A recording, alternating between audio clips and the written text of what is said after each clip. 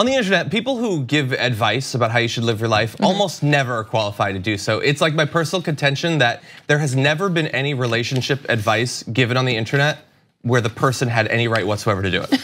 like nobody checks these people's relationships to make sure that they're qualified, I don't think. Um, but if we are gonna take life advice from somebody, AOC seems to have it all together, okay. pretty much. So she's got some advice. Uh, this is from uh, like a, an interview last week with the Skullduggery podcast. And so she was talking about social media and okay. how she has given up Facebook, and she explains. Um, I personally gave up Facebook, which was kind of a big deal because I started my campaign on Facebook, and Facebook was my primary digital organizing tool for a very long time. I gave up on it. I actually think that social media poses a public health risk to everybody. There are amplified impacts for young people, particularly children under the age of three with screen time, but I think it has a lot of effects on older people. I think it has effects on everybody increased isolation, depression, anxiety, addiction, escapism. And uh, she apparently started to impose little rules about her social media use, like curtailing her consumption of content on weekends. She still writes her own Twitter and Instagram posts. I've actually noticed that she doesn't tweet as much on the weekends now.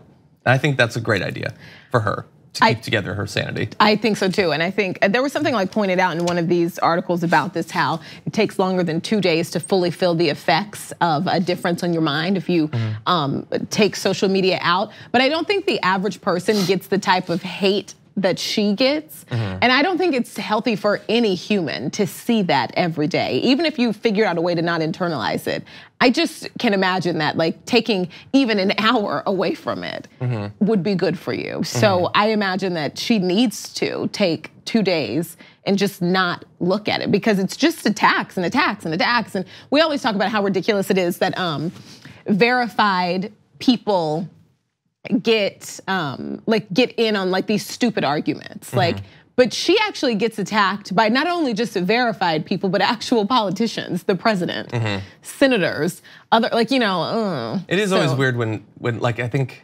Neera Tanden, she was engaged in some online argument, and someone responded, "Neera Tanden, you're arguing with a grad student at 1:30." It's just like that's kind of weird, actually. It's a good point. um, everything that you're saying about the the hate that you get and the arguments you can get in is right. But I actually think that even if you don't get the hate, I think it's still even the need to post. Like being on there and absorbing a lot can be too much. Yeah. But if, especially on face, I'm sorry, on Twitter, if you feel like you need to be engaging in all these things, like if there's an event happens, I feel like I have to post about it.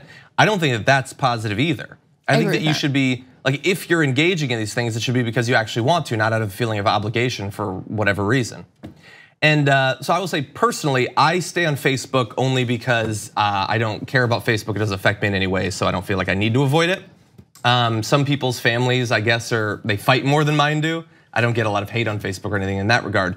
With Twitter, there's a very big part of me that wishes I could get off of it because I do rage on Twitter sometimes, and I look at all of the people who just all of their activity is like replying angrily to people. A lot of the people who reply to me are like that, and I just think how happy could you possibly be if this is how you choose to spend your time?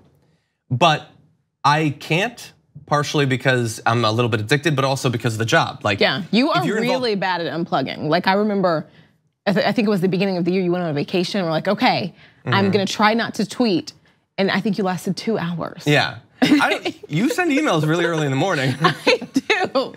I do. I'm addicted to work. I am. I sent you an email. I was like, she'll get this when she wakes up. And there was a reply after like two minutes. I was like, why is anyone other than me awake at this time? Um, it was like fast. Um, I uh, my Facebook is just beautiful. It's great. I'll never get off Facebook because I will delete you from my page at the slightest disagreement. Oh yeah. Because sure, I'm open to like different opinions, but I don't think racism and support of that and sexism is um, a difference of opinion. Mm-hmm. And so just at the slightest, like, oh, I don't really like the way you're thinking, it's fine. I just delete you. Because Facebook for me is about like seeing people that I enjoy Mm-hmm. And if I don't enjoy your rants, I don't. My Facebook page is not a democracy. You know mm-hmm. what I mm-hmm. mean? Like. So I follow, you know, a lot of different like news organizations and things like that. It's a cheertatorship. It's really, yes. it's Facebook. It's supposed to be fun. It's social media. It's fun. If I don't care about you or your kids, I, I'll unfollow you. And not that I don't, you know what I mean? It's just like I don't, I don't care. Like Yeah. you know, I want to see only like my cousin's kids. Like you know, I don't know. It's I like- don't- there's some like a random friend from first like. grade. We don't need to be Facebook friends. I don't know Yeah. you. You I know some stuff like that. I I just- that, sounds for so me, bad. sometimes it's easier to keep people than to go through the stress of deleting them or whatever. By the way, you know when someone is broken through, as you were talking about your strategy, all I could hear was Marie Kondo. Like your Clean it up. posts do not bring me joy, so I will cut you Clean out. Clean it up. Uh, yeah, uh, yeah. So I, I have cut out to the extent that I can. I haven't posted on Instagram in a while just because I'm bored, even though Instagram's like the most positive social media outlet uh, in existence. But AOC, whatever you got to do to keep it together, I'm all for it. I listen. I just cleaned up people, clean, clean, clean. It was really easy. The first two, the first election when Obama was elected, easy. I went down, lost 50% of my page. I'm from Oklahoma. Uh-huh. Then the second. Were one, some of them white? then the second page, the second election, then it was like, okay, some people got, you know, they snuck through. Okay. And then I think the last oh, time was when the guy from Duck Dynasty was talking about Pat Rob- no. his like homophobia. It was like really weird and like there was like some anti-black sentiments in what he was saying. And I think one or two people were defending him and I was like, oh, delete, delete. Now everything. Whenever mm. something big or tragic happens, it's only positive. Yeah. Amazing, smart people. And it feels good. Yeah. Facebook is a break for me. Yeah. I have some some family. I still read YouTube comments, so like I still get your crazy YouTube opinions. comments? I do. Yeah, I'm entertained Oh by my them. God. I'm entertained by some of the insults too. It's funny to me. I read them out loud. Sometimes they're funny. YouTube comments are crazier than the writings of H.P. Lovecraft. like it's just what is that? it's just it's a beast of a thousand mouths eating itself in a thousand ways. That's all it is. It's consuming itself. Um, it's like it's it's a it's a human centipede of one. That is basically, is so what's funny. going on. It's eating and pooping simultaneously at all times. It's beautiful. Thank you very much for watching this clip from the Damage Report.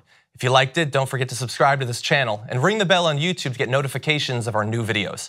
And of course, you can catch the full Damage Report live every weekday at 1 p.m. Eastern, 10 a.m. Pacific on TYT Network on YouTube TV.